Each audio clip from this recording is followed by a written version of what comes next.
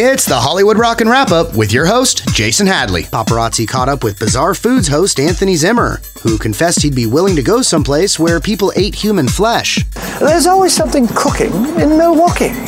Rapper Lil Wayne's being chased by American Express, racking up over $86,000 in debt.